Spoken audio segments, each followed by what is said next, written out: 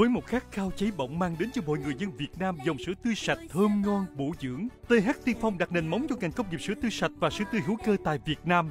TH là doanh nghiệp đi đầu trong việc ký kết triển khai chăn nuôi bò sữa và chế biến sữa theo tiêu chuẩn hữu cơ organic của châu Âu và Mỹ. TH là trang trại đầu tiên tại Việt Nam có đàn bò sữa chuyển đổi sang chăn nuôi hữu cơ.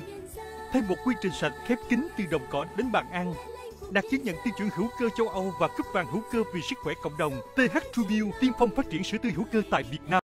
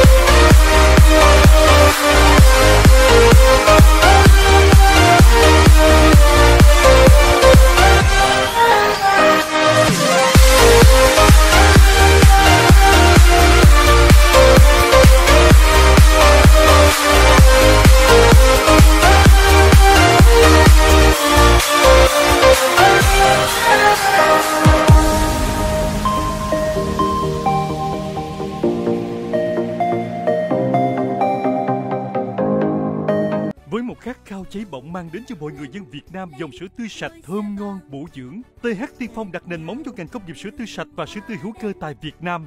TH là doanh nghiệp đi đầu trong việc ký kết triển khai chăn nuôi bò sữa và chế biến sữa theo tiêu chuẩn hữu cơ organic của châu Âu và Mỹ. TH là trang trại đầu tiên tại Việt Nam có đàn bò sữa chuyển đổi sang chăn nuôi hữu cơ.